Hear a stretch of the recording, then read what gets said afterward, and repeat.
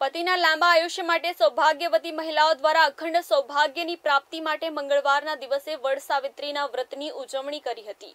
Gandhinagar sector આઠમાં મહિલાઓ દ્વારા વિધિવત રીતે વ્રતની ઉજવણી કરવામાં આવી હતી. વડની વિશેષ પૂજા કરવામાં આવી હતી. આ દિવસે મહિલા ઉપવાસ રાખીને વડના વૃક્ષ અને યમદેવની પૂજા કરે છે. ભારતીય સંસ્કૃતિમાં આ વ્રત આદર્શ નારીત્વના પ્રતીક સમાન છે.